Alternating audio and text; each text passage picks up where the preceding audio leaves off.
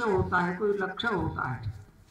पिछले देवासी वर्षों से 1925 से लेकर आज तक, राष्ट्रीय स्वयंसेवक संघ बिना किसी भय के, बिना किसी लोभ लालच के, बिना किसी प्रकार का मन में अन्य कोई स्वार्थ का भाव रखे हुए लगातार साधना कर रहा है।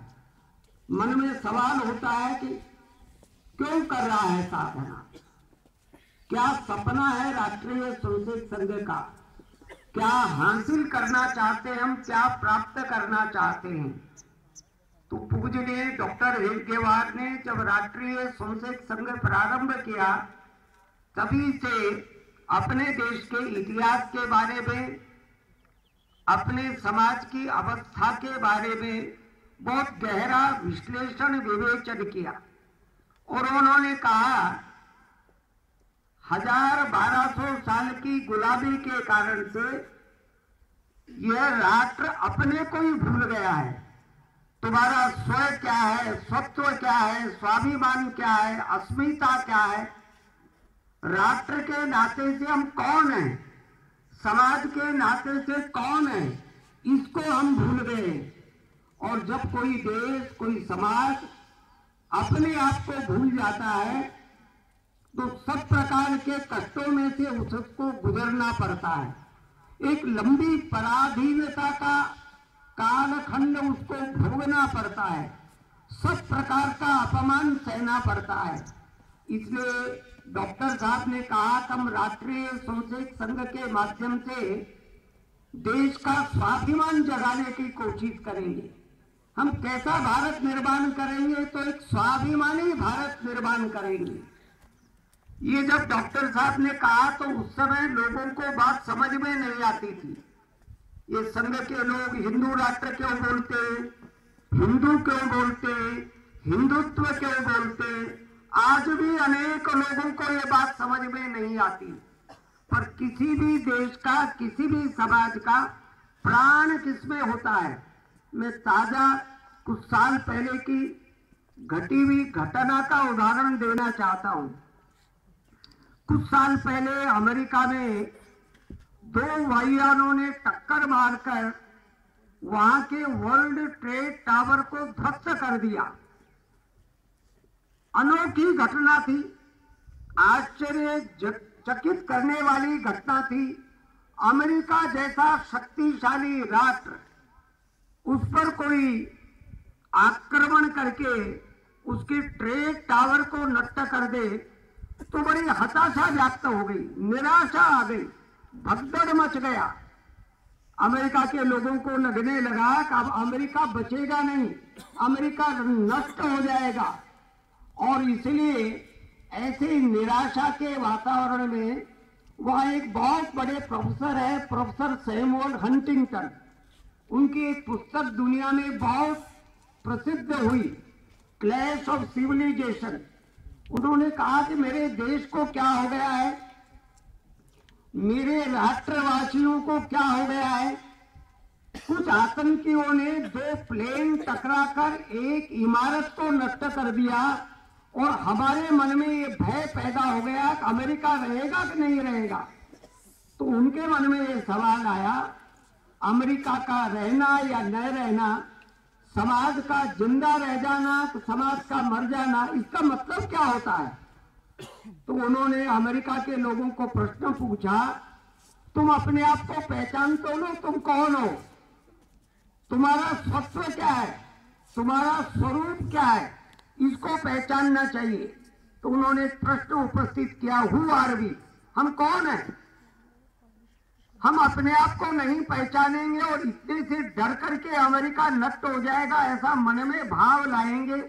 अपने को पहचाने के बिना तो अमेरिका में बड़ी बहस हुई। अनेक तरह के सवालों के जवाब आए। उन सब जवाबों को इकट्ठा करके प्रोफेसर सैमुअल हंटिंगटन ने एक पुस्तक लिखी। उस पुस्तक का नाम ही हु आर्मी है अमेरिका को संबोधित किया गया था, तुम पहचानो तुम कौन हो? अमेरिका होने का मतलब क्या है? और उस पुस्तक में अमेरिका होने का मतलब क्या है? अमेरिका का स्वत्व क्या है? इसका जवाब देते हुए उन्होंने कहा, अमेरिका का मतलब होता है we are English speaking Anglo Saxon Protestant culture ऐसा जवाब दिया। अमेरिका का अर्थ है अंग्रेज़ी बोलने वाले एंग्लो सेक्शन जाति के और प्रोटेस्टेंट संस्कृति को मानने वाले लोग, इसका मतलब अमेरिका है। और इसलिए उन्होंने कहा कि जब तक अमेरिका की धरती पर प्रोटेस्टेंट संस्कृति को मानने वाला एक भी व्यक्ति जीवित है, अमेरिका किसी भी आतंकी गतिविधियों से नष्ट नहीं हो सकता। और उस संस्कृति के भाव के कारण से अमेरिका के मन में उत्साह जग गया। अगर अमेरिका की धरती पर खड़े होकर वो ये पूछ सकते हैं हु आर वी अगर हिंदुस्तान की धरती पर खड़े होकर यही सवाल ईमानदारी से हम अपने आप से करेंगे हम कौन हैं? तो जवाब क्या मिलेगा?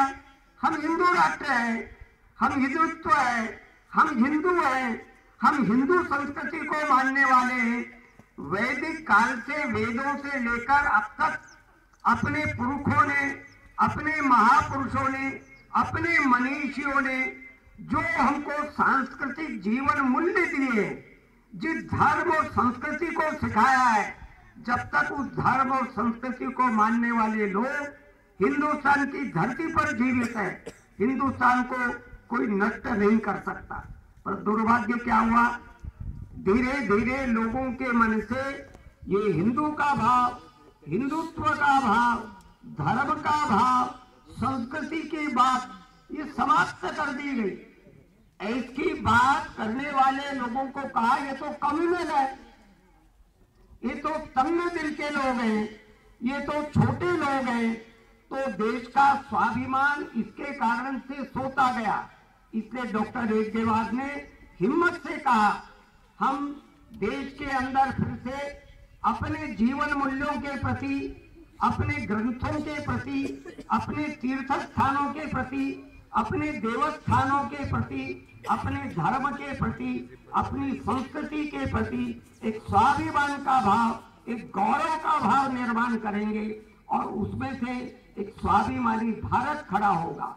इस स्वाभिमानी भारत के निर्माण में राष्ट्रीय संघ उन्यासी साल से लगातार प्रयत्न कर रहा है।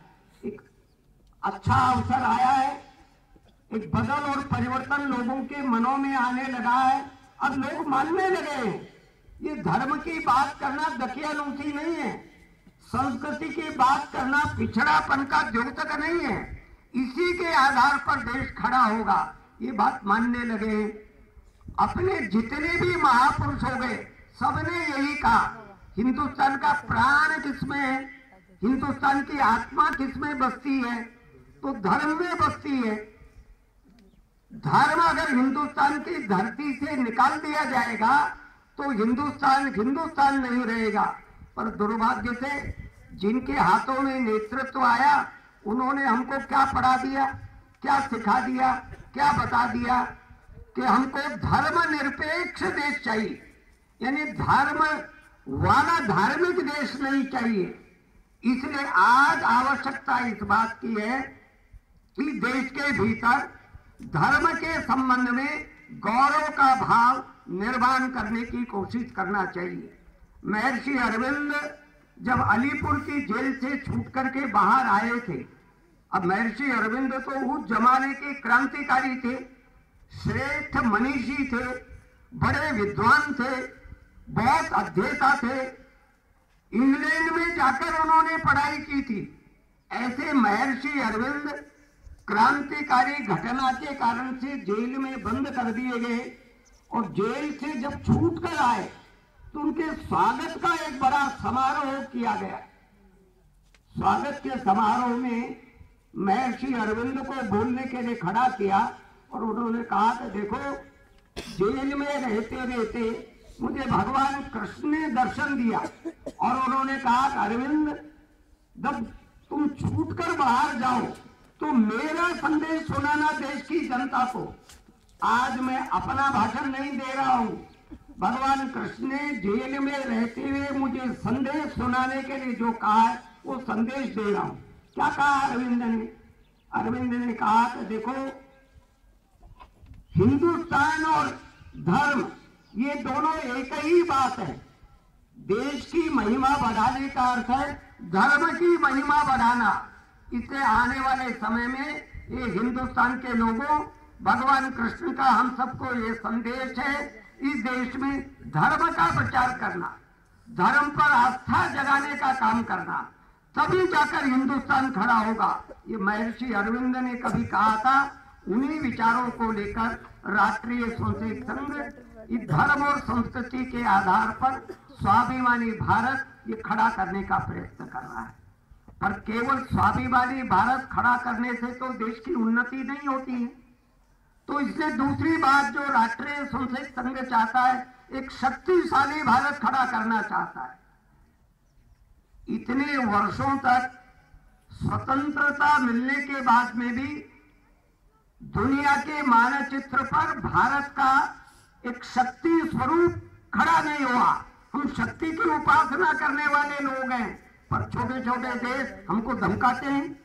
कोई भी घुसपैठ कर लेता है, कोई भी आतंकवादी घुस आता है। बॉम्बे में अटैक कर लिया अपने देश के पड़ोस के छोटे से चिन्नी से देश के लोगों ने। चाइना ने इतनी बड़ी मात्रा में अपने देश की ज़मीन पर कब्जा कर लिया। कौन सा स्वतंत्र है? और फिर क्या पढ़ाया गया? हम तो शांति को मानने वाले लोग हैं। इसलिए परमाणु बम का विस्फोट नहीं करना चाहिए। सेना नहीं रखनी चाहिए। शस्त्र नहीं रखना चाहिए। इसकी ट्रेनिंग देने की ज़रूरत क्या है? और इसलिए उस भाव के कारण से, उस कमज़ोरी के कारण से उन्नीस सौ बासठ में चीन ने भारत पर आक्रमण कर दिया। और भारत की बहुत सारी ज़मीन को कब्जा करके ले गया। इसलिए राष्ट्रीय संसद संघ का ये मानना है, दुनिया में उसी की बात मानी जाती है। दुनिया में उसी की बात सुनी जाती है। आपके सिद्धांत कितने ऊँचे होंगे, बातें कितनी बढ़िया होगी, पर कोई आपकी बात मानने वाला नहीं है। अगर शक्ति का संचय नहीं किया, शक्ति संपन्न नहीं हुआ। इसलिए राष्ट्रीय स्वयंसेवक संघ ने कहा, हम शक्तिशाली भारत बनाना चाहते हैं। हम कमज़ोर भारत नहीं देखना चाहते। हम पर इतने बड़े देश पर कोई आक्रमण करने की हिम्मत भी करे। ये हिंदुस्तान जैसे बड़े देश के लिए स्वीकार्य नहीं होना चाहिए। सब प्रकार से व्यक्ति व्यक्ति के मन में शक्ति का भाव जगाएँगे, पुरुषार्थ का भाव जगाएँगे, राष्ट्र की छात्र शक्ति को फिर से खड़ा करेंगे। जब राष्ट्रीय संसद शक्ति की बात करता है तो लोग कहते हैं, ये हिंसा में विश्वास करते हैं, ये तो मारकाट में विश्वास करते हैं, ये शांति प्रिय लोग नहीं है, ये दंगा फसाद में विश्वास करते हैं। नादान लोग ना समझ लोग जो राष्ट्रीय स्वयंसेवक संघ की शक्ति उपासना को नहीं समझते, वो इस प्रकार की नादानी पूर्ण बात करते हैं। हिंदुस्तान का इतिहास तो क्या बताता है? हम जिन भी देवी देवताओं की पूजा करते हैं, हमारा कोई देवी देवता ऐसा नहीं है जिसके हाथ में शस्त्र ना हो। शस्त्र और शास्त्र दोनों की पूजा की है, पर हम कैसी शक्ति की पूजा करते हैं, हम राक्षसी शक्ति की पूजा नहीं करते, हम देवी शक्ति की पूजा पूजा करते हैं। शक्तिशाली तो रावण भी था और शक्तिशाली राम था। हमने अपना आदर्श किसको माना? राम को माना। रावण को नहीं माना। शक्ति तो युद्ध, कला, कौशल तो दुर्योधन भी था, कौरव भी था, पर हमारे शक्ति के आदर्श दुर्योधन और कौरव नहीं है। हमारे शक्ति के आदर्श गांडीवधारी अर्जुन है, पांडव है। कंस में भी ताकत थी और कृष्ण में भी ताकत थी, पर हमने कंस की पूजा नहीं की, हमने कृष्ण की पूजा की। इसलिए राष्ट्रीय स्वयंसेवक संघ जिस प्रकार का शक्तिशाली भारत बनाना चाहता है, वो दैवीय शक्ति वाला बनाना चाहता है। भारत ताकतवर होगा तो इसका मतलब है, दुनिया का कोई भी बड़ा देश छोटे देश को दबा नहीं सकेगा।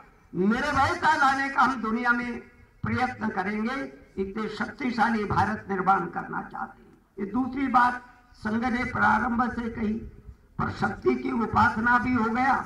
धर्म और संस्कृति के प्रति गौरव भी जग गया, पर देश की सब प्रकार की उन्नति तो इसलिए नहीं होती। इसलिए तीसरी बात, राष्ट्रीय स्वयंसेवक संघ ने कहा, हम स्वावलंबी, संपन्न, समृद्धशाली भारत बनाना चाहते हैं। अपने देश में आज भी 40 फ़ीसदी लोग गरीबी की रेखा के नीचे रहते हैं।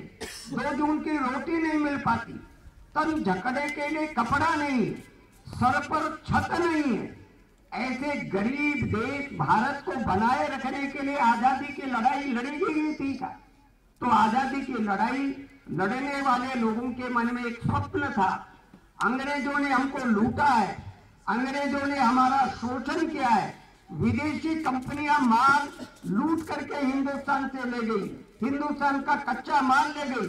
हिंदुस्तान के बाज़ार पर कब्जा करके मनमाने दामों पर अपनी विदेशी माल को बेचते रहे। इसलिए हमने स्वतंत्रता हासिल की है और इसलिए स्वतंत्रता के आधार पर हम देश को संपन्न बनाएँगे, गरीबी मिटाएँगे, बेरोजगारी मिटाएँगे, विषमता मिटाएँगे। सब प्रकार से अपना देश फिर से सोने की चिड़िया वाला देश होना चाहिए। इसलिए समृद्धशाली, स्वावलंबी भारत निर्माण करने के लिए हम काम कर रहे हैं। दूसरे देशों पर अवलंबित होकर केवल मात्र विदेशी निवेश के आधार पर कोई दुनिया का देश स्वावलंबी नहीं बना करता है। अपने पुरुषार्थ के आधार पर और अपने नौजवानों के परिश्रम के आधार पर, अपने देश के संसाधनों के आधार पर हिंदुस्तान की तस्वीर बदलेंगे। हिंदुस्तान को नंबर एक का देश बनाएँगे। हो भी रहा है। हिंदुस्तान थोड़ा थोड़ा आगे बढ़ने लगा है। ये तो गलत नीतियों के कारण से। हिंदुस्तान बहुत वर्षों पहले दुनिया का नंबर एक का देश बन जाना चाहिए था। वो नहीं बन पाया। इन नीतियों को बदलने की ज़रूरत है। दिशा को बदलने की ज़रूरत है। और इसलिए स्वाभिमानी वाली, शक्तिशाली वाली, समृद्धशाली वाली, स्वावलंबी बनाने वाली ऐसी नीतियों का निर्माण होना चाहिए और व्यक्ति व्यक्ति के मन में ये भाव जगना चाहिए। मैं देश के लिए काम करूँगा, समाज के लिए काम करूँगा। मैंने जो कुछ पढ़ाई लिखाई प्राप्त की है, जो योग्यता हासिल की है, किसके लिए की है, देश के काम में लगाऊँगा, देश की तरक्की के काम में लगाऊँगा। ऐसा व्यक्ति व्यक्ति के मन में भाव जगता है तो भारत में इंटेलेक्चुअल्स की कमी नहीं है। भारत में तकनीशियनों की कमी नहीं है। भारत में संसाधनों की कमी नहीं है। भारत में जितने प्रकार के प्राकृतिक साधन हैं, भारत के खदानों में जिस जितने प्रकार के खनिज पदार्थ हैं, दुनिया के किसी देश में नहीं। इसलिए राष्ट्रीय स्वयंसेवक संघ ने प्रारंभ से ये कहा, हम देश को संपन्न देश बनाएँगे, समृद्धशाली देश बनाएँगे। चौथी बात भी राष्ट्रीय संसद संघ ने कहा संस्कारित भारत बनाना चाहते हैं। आज संकट क्या है अपने देश में? रोज अखबार का पन्ना उठाते हैं और हम क्या क्या देखते हैं? ये अत्याचार हो गया, ये अनाचार हो गया, ये किसी को भी भरे बाज़ार में लूट लिया गया एटीएम में डाका डाल दिया, बैंक की गाड़ी को लूट करके ले गए। भरे बाज़ार में किसी दुकानदार की हत्या करके उसका पैसा लूट ले गए। कोई किसान, कोई गाँव वाला गाँव से गुजर रहा था उसकी हत्या कर दी गई। तो कुल मिलाकर के अपने देश में अत्याचार, अनाचार, व्यभिचार, बलात्कार, ऐसी घटनाएँ घट रही शर्म कोई रह नहीं गई है। बलात्कार की कैसी घटनाएँ आ रही? कभी अखबारों में आप लोगों ने पढ़ा होगा, जिन माँ बहनों का, बच्चियों का बलात्कार हुआ 40 प्रतिशत बलात्कार पड़ोसियों ने किया, जानकार लोगों ने किया। परिचित लोगों ने कहा ये सीता सावित्री का देश है। हम माँ बहन को पवित्र रिश्ते के आधार पर देखने वाले देश है। हमारे देश में ऐसी घटनाएँ घट रही है। इसको बदलना पड़ेगा। कारण क्या है? संस्कार नहीं रहा। सिखाया नहीं गया बताया नहीं गया समझाया नहीं गया। माताओं को बहनों को महिलाओं को किस दृष्टि से देखना चाहिए? हमने तो कहा था, ना मातृवत परदावेश माता का संबोधन पवित्र संबोधन है, बहन का संबोधन पवित्र संबोधन है। रिश्ते तार तार हो रहे हैं, संस्कार देना पड़ेगा, समझाना पड़ेगा। देश बनाना है, ईमानदारी का संस्कार होना चाहिए। इतने घोटाले हो रहे हैं अपने देश में रोज। और कौन घोटाले कर रहे हैं? गरीब आदमी नहीं कर रहा। घोटाला अमीर आदमी कर रहा है। पढ़ा लिखा आदमी कर रहा है। बड़े बड़े अफसर कर रहे हैं। बड़े बड़े राजनेता कर रहे हैं। घोटाला हो रहा है। इतनी बड़ी मात्रा में काला धन अपने देश में पैदा हो गया। और काला देश देश में पैदा ही नहीं हुआ। यहाँ से काला धन विदेशों में बेच दिया गया। तो देश तो गरीब रहेगा ना। परिश्रम तो बहुत किया, मेहनत तो बहुत किया, कमाई तो बहुत की, पर संस्कार नहीं दिया। धन आ गया, धर्म नहीं सिखाया। समृद्धि आ गई, संस्कृति नहीं सिखाई। प्रगति की बात की डेवलपमेंट की बात की पर परंपरा नहीं बताई। इतने राष्ट्रीय संघ इस संघ की शाखाओं के माध्यम से छोटे छोटे कार्यक्रमों के माध्यम से व्यक्ति व्यक्ति के मन में संस्कार जगाना चाहता है। ईमानदारी का, प्रामाणिकता का, देशभक्ति का, अपने देश के सामाजिक व्यवस्थाओं को ठीक और दुरुस्त करने का संस्कार जगाना चाहते हैं। कन्या भ्रूण हत्याएँ हो रही है अगर कन्या पैदा होगी ना, इसके लिए अपने देश में कन्या भ्रूण हत्याओं का रेशो बहुत बढ़ रहा है। इसलिए जेंडर रेशो का सवाल खड़ा हो गया है। बालकों की संख्या ज़्यादा और बालिकाओं की संख्या कम है। कौन सा देश बनाना चाहते हैं? दहेज के लिए नीलामी हो रही घरों में और परिवारों में दहेज के कारणों से रोज हत्याएँ की जा रही है। ये कुसंस्कारों का परिणाम है।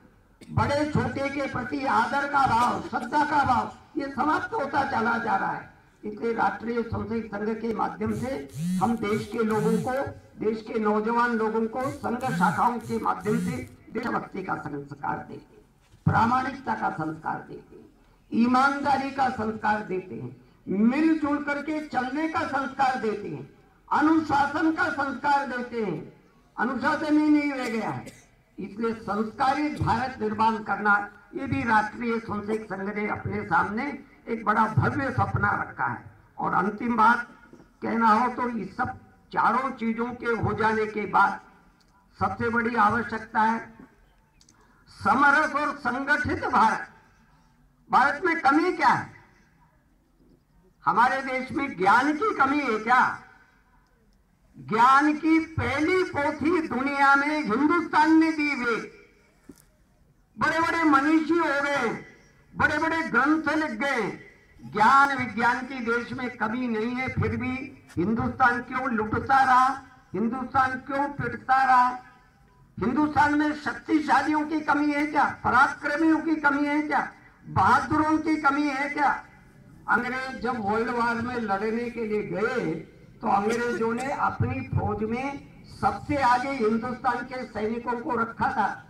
उन्होंने पहचान लिया था हिंदुस्तान का सैनिक कभी भी पीठ पर गोली नहीं खाता है। युद्ध के मैदान में रणांगन में सीधा शत्रु से भिड़ जाता है। या तो जीत कर आता है, या फिर वहाँ शहीद होकर आता है। पीठ नहीं दिखाता, कमज़ोर नहीं है वो।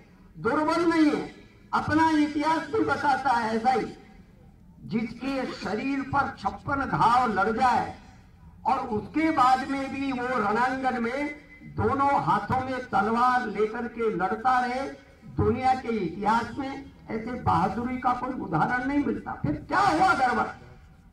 ज्ञान की कमी नहीं, बहादुरों की कमी नहीं, धन दौलत की कमी थी क्या, पैसे की कमी थी क्या? तो हिंदुस्तान तो सोने की चिड़िया रहा, इसीलिए लुटेरे आए। कमी क्या हुई? तो डॉक्टर रेडगेवार ने हमको समझाया, मिलकर चलने का स्वभाव, मिलकर काम करने का स्वभाव, संगठन का स्वभाव, ये चुक गया था, ये कमज़ोर पड़ गया था। एक दूसरे की बुराई करने में, एक दूसरे की टांग खिंचाई करने में, एक दूसरे को गिराने में ताकत लग गई थी। और इसलिए इसका वर्णन करते हुए अपने एक संस्कृत के विद्वान ने उस जमाने में कहा था, विद्या विवादाय, धनम मदाय, शक्ति परेशान पर पीड़नाय हमारी क्या हालत हो गई है? जो विद्वान हो गया है, ज्ञानवान हो गया, पढ़ा लिखा हो गया, एक दूसरे के साथ शास्त्रार्थ करता है विवाद करता है, मिलकर नहीं चलता, अज्ञानी को पढ़ाने में अपनी विद्या को नहीं लगाता है। वो तो विवाद कर रहा है, विवादों में फंस गए और विवाद तो हमेशा दूर करता है। धन आ गया किसी के पास तो धन के कारण से अहंकार आ जाता है। अयासी में पैसे को खर्च करता है और ताकत आ गई तो मज़ा आ जाता है। तो इसलिए कहा कि राष्ट्रीय संसद संघ के माध्यम से हम ये चित्र बदलेंगे। ज्ञान आए, दान आए, च रक्षण आए।